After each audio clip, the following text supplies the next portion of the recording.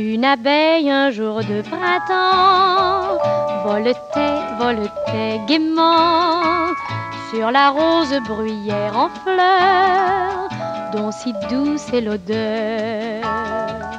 Au pied de la bruyère en fleurs, une pauvre chenille en pleurs regardait voler dans le ciel la petite et son miel. Chenille en sanglots lui disait Je vous aime. Mais l'abeille là-haut, tout là-haut, n'entendait pas un mot.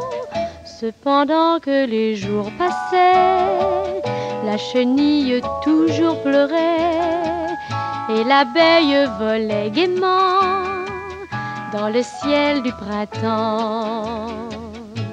Après avoir pleuré jusqu'à la nuit, notre chenille s'endormit, mais le soleil de ses rayons va éveiller un papillon.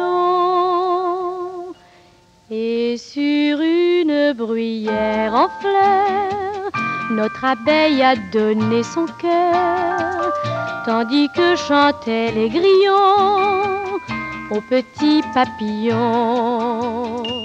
Par les bois, les champs et les jardins, se frôlant de leurs ailes, ils butinent la rose et le thym dans l'air frais du matin.